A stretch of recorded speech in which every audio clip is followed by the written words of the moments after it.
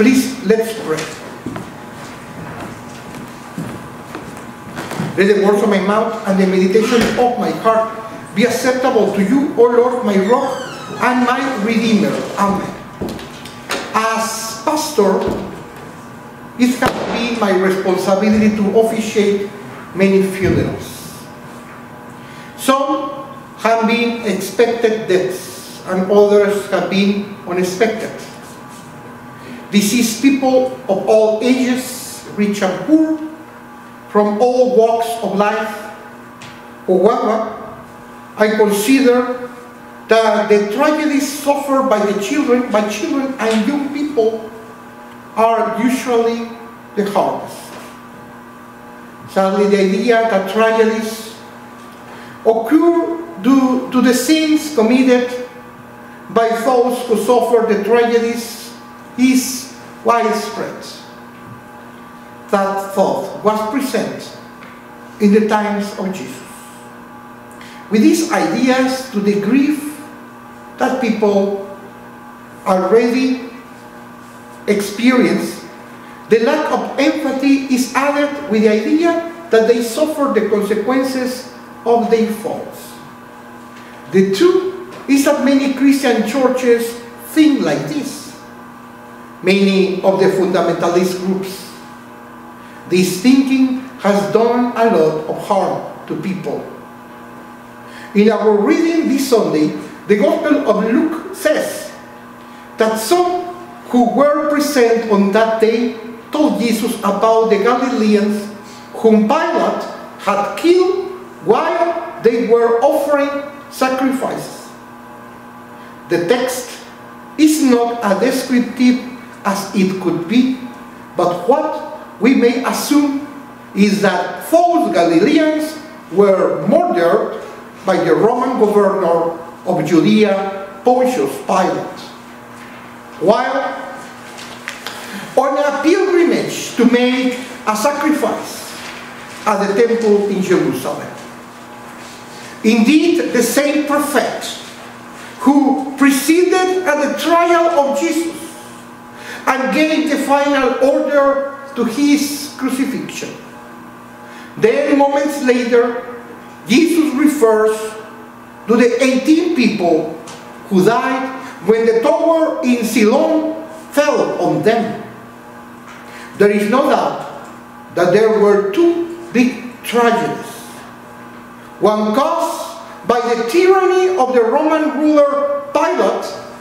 Last week, Jesus made a harsh criticism against Herod, the Jewish king. And the second tragedy would seem to be an unfortunate accident. Perhaps the tower was not constructed properly. We want to know why do bad things happen? And so we ask, what did Pilate murder those people? Why did that tower fall? Sometimes the answers we have found may be true, sometimes no. Sometimes it's a mix. Sometimes in this life we will never know. Since he was conscious, the human being has tried to understand the world, to understand the cycle of life, which includes death. He has tried to understand natural phenomena. He has tried to understand why some people do better in life and others are doing poorly. The reason why there are accidents. Because sometimes you win and sometimes you lose in a battle. The human being has constructed different explanations. Returning to the biblical text, an answer that the multitude seems to cling to explaining the murder of false Galileans and the tragic death of the 18 was that of retribution for sin. That bad things happen to bad people. That suffering is deserved. That when people suffer, is because God is punishing them. In this way of explaining the word, the Galileans who Pontius Pilate killed and the people who perished because the tower fell on them was because they were terrible people. They were sinful people. Probably not but surely those people were secretly sinners. Therefore, the survivors are better people, those preferred by God. The matter of human suffering is a topic that has interested me for years. My first thesis to finish my seminar was about it. It is in the Spanish language. I must tell you that the wonderful book of Job in the Bible does not support the idea that human beings suffer tragedies simply because they are sinners. Job himself was suffering, not due to any internal or external sin. The world is more complicated than that. If you are interested in the subject, I recommend you read the entire book of Job. And above all, the teachings of Jesus Christ reveal the answer to such an ancient question. Jesus gives us consolation to the souls troubled by those who have suffered a family tragedy. You are probably wondering why my son or an nephew suffer an early, I'm sorry, an early death, or why he or she suffer a serious accident, or why I suffer from an act of violence in my youth. In my first year as a pastor in the mission of La Joya, where I was a student pastor, uh, was going to receive a visit from a member of the district superintendent's cabinet. A woman would be our meeting leader. The woman came from a town two hours away using public transportation. The mission was very enthusiastic because it was the first time it had been considered for a meeting. There was, they were, sorry, ever children, even children, present and people from other denominations only for curiosity. The meeting would begin on a Saturday at 4 p.m. But our sister in Christ took so long, we waited for her for more than one hour. At that time, the use of cell phones was not common. Finally, she arrived very late, but her appearance was of great sorrow. And she began to cry and turn. She said that a group of men tried to abuse her on the bus. I will not say more details. She was crying for a long time. But a sister from a different denomination asked her not to cry. Indeed, this had happened to her because she was a sinful woman. As a leading Christian woman, she should not cry in public because it was something unworthy. Because Christians, in her opinion, and that of her church, should always show a strange and a smile on their lips. I was a young pastor. That was my first appointment. But I already believe in the pastoral investiture and continue to believe it today. Just as the woman of a different denomination was publicly scolding our guest, I had to publicly admonish her, saying that what she said was false, that our Methodist Church did not believe it. On the contrary, it was good that our sister continued crying so that she could vent. Imagine, in addition to suffering the terror of violence, in addition to being told that indeed she was the culprit. This sister from a fundamentalistic church, in addition to not expressing empathy for her, added more guilt and shame to her who was in shock. I am a pastor who considers that one must be very careful with the shared teachings and doctrines. It's not a matter of competition between churches. It's a matter that some teachings are incompatible with the Word of God, and others seek more manipulation of people. The results are evident when, for example, many Christians think that we have to fight against the recommendations of doctors and scientists. Many groups emphasize entertaining, having a good time, but not in having a commitment, a loyalty to the local church. Although it sounds very nice, that is contrary to the word of God. That is why any preacher or speaker from another church must be approved by the pastor of the local church. And this is not optional. I love the collaboration between churches. I am ecumenical pastor. When there is healthy doctrine involved, respect and ministerial ethics. Typically, what is practiced is the change of pulpits. Preachers from other churches come, still in turn, I go and preach in the pulpits of all saint churches. It is a principle of equality and mutual respect. In our gospel today, Jesus is tremendously consoling. Jesus replied, Do you think the suffering of these Galileans proves that they were more sinful than all the other Galileans? Regarding the people who were killed, do the tower fell on them, Jesus responded, Do you think that they were more guilty of wrongdoing than everyone else who lives in Jerusalem? In both cases, Jesus' answer is clear. They were not more sinful than you. So do not brag. Do not think that you are better than those. Let's stop assuming that those who have perished in an accident or illness or because they are poor or because they must have some public or secret sin.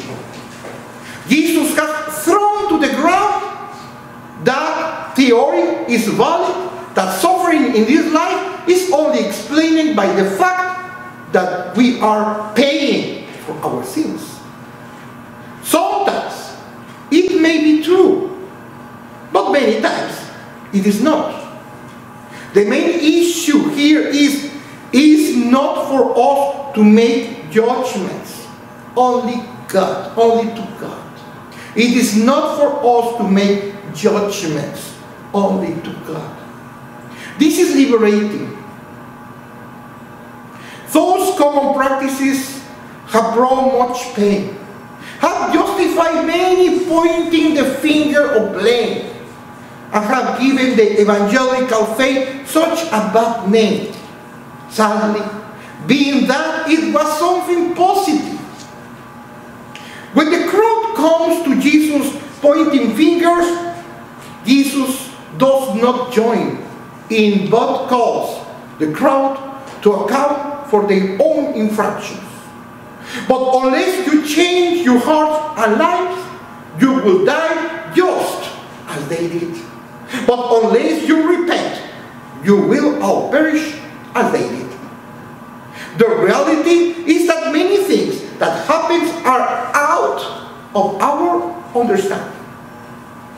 Many things that happens are out of our control. Jesus Christ called us to focus not on what lies outside our control. He called us not to accept judgmental explanations. Jesus Christ instead invites us to focus on what we are in control of. We are called to grow in holiness, to be better people with others, to give ourselves more and more to the Lord. The Gospel of Luke mentions repentance more often than any other book in the Bible. Repenting is an act of turning entirely around 180 degrees to leave our sin behind us. Repentance is more than telling God we are sorry. One person said, apology without change is manipulation. Repentance requires changing. I am going to give you some advice. Don't let the phrase, we as humans, I'll make mistakes, give you much comfort. The same is true. But don't conform to it.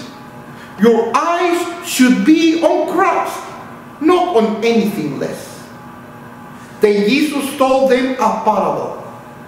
A man had a fig tree planted in his vineyard, and he came looking for fruit on it and found none.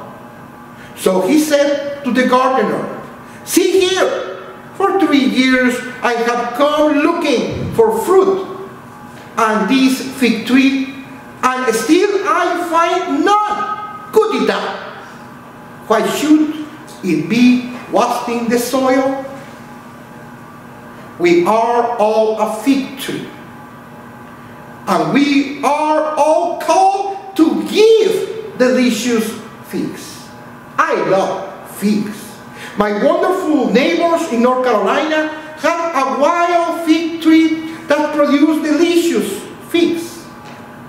God wants us to bear fruit and give us time to do so. According to the parable, the owner waited three years. That is the same years of the earthly ministry of Jesus. And after that time, the time the wait is over. The man came looking for fruit on it and found none.